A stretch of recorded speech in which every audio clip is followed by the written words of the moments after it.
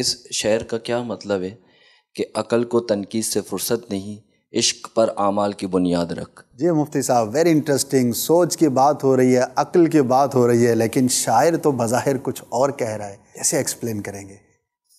शायर तो बहुत कुछ कहते हैं अच्छा। और फ़ी कुल्ली वादी यही मुँह हर वादी में भटकते रहते हैं।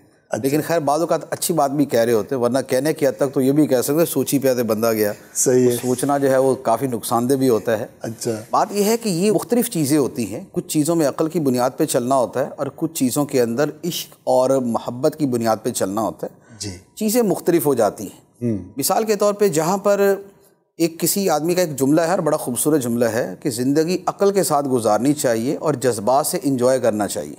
अच्छा।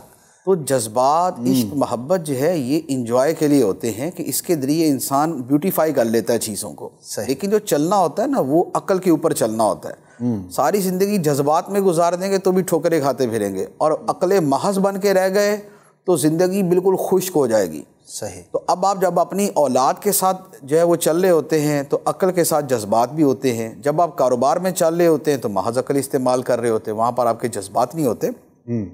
तो ये चीज़ों के अतबार से मुख्तलिफ़ है। शायर ने जो कहा है, वो बेसिकली उन दीनी चीज़ों के हवाले से है कि जहाँ पर इश्क महब्बत का ताल्लुक है, कि वहाँ पर अक्ल ज़रूर इस्तेमाल करनी चाहिए कि अक्ल खुदा की नेमत है और फैसला साज एक कुत है।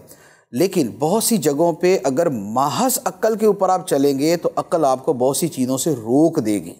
सही। और उसके मुकाबले में जो इश्क मोहब्बत है वो आपको उस मंजिल से पार लगा देगा। सही। जैसे हज़रत इब्राहिम सलाम के हवाले से है ना कि बेखतर कूद पड़ा आतश नमरूद में इश्क। अकल थी महव तमाशा लबे बाम अभी।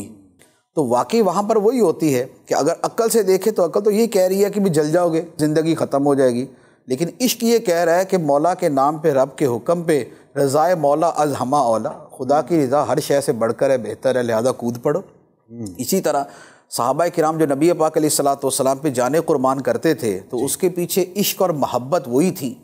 वहाँ अकल की भी नफ़ी नहीं है कि अकल भी यही कहती है कि भाई इस एक जान के बदले में अगर आखिरत की दायमी ज़िंदगी मिलती है और अल्लाह का कुर्ब मिलता है तो ये सौदा महँगा नहीं है। इन हशतरा मिनमिन अनफुसम व अम वन्ना बेशक अल्लाह ने ईमान वालों से उनकी जाने और माल ख़रीद लिए इस बदले में कि उनके लिए जन्नत है। तो जो सौदा रब ने किया है वो अकली एतबार से भी ठीक है हमारे।